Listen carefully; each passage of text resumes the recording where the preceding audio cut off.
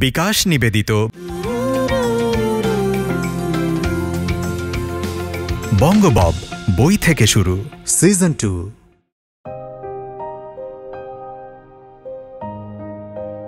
সমুদ্রের সম্পর্কে অনেক মানুষের ধারণা আছে যে সমুদ্রে প্রায়ই মানুষ হারিয়ে যায়। এরকম একটি ধারণা থেকেই গল্পটির অনুপ্রেরণা আসলে এইভাবে পেয়েছিলাম। আমি আসলে আমার প্রফেশনের জায়গাটাকে একসময় সাংবাদিকতার সঙ্গে যুক্ত করেছিলাম, সেটা আটাত্তর উনআশি সালের দিকে। রোববার নামে একটি পত্রিকাতে আমি জুনিয়র রিপোর্টার হিসেবে কাজ করতাম। তো সেই ব্যাপারটা আমার মধ্যে থেকে গিয়েছিল। ছাপার অক্ষরের বই এর মর্যাদা কোথাও কমেছে বলে আমার মনে হয় না। যে হতাশার কথা আমরা শুনি যে বই বিক্রি হয় না, বই পড়ে না বা লেখালেখিটাও আগের মতো হয় না, কথাটা আসলে ঠিক নেই। এবারও তো চার পাঁচ হাজার বই বেরিয়েছে। লেখালেখির অভ্যেস না থাকলে এতগুলো বই কারা লিখলো সুতরাং হতাশ হবার কোনো কারণ আসলে নেই।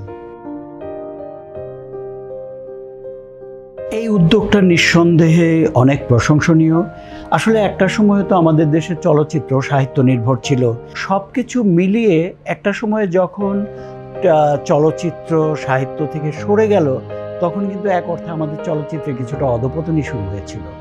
এই, এতে আমার কোনো সন্দেহ নেই, কিন্তু এখন আবার এই যে নতুন নতুন ওটিটি প্ল্যাটফর্ম বা বিভিন্ন রকমের ফরম্যাটে যে আমাদের সাহিত্যকে কাজে লাগানো যাচ্ছে বা কাজে লাগানোর চিন্তা ভাবনা করছে কি নতুন প্রজন্ম বা নতুন নতুন অর্গানাইজেশন এটাকে আমি খুব পজিটিভ একটা দিক বলে মনে করি। চলচ্চিত্র টেলিভিশন বলি, যাই বলি, তার সঙ্গে সাহিত্যের একটা নিবিড় সম্পর্ক আছে। এই সম্পর্কটাকে যত জোরদার করা যাবে তত এই জায়গাটা শক্তিশালী হবে।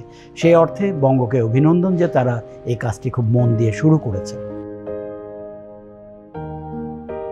দর্শক, তাদের কাছে আমার অনুরোধ যে আমার সুরভি চলচ্চিত্রটি বঙ্গ থেকে প্রচারিত হবে এবং আপনারা সবাই নিশ্চয়ই এই চলচ্চিত্রটি উপভোগ করবেন এবং দেখবেন আপনাদের কাছে এটা আমার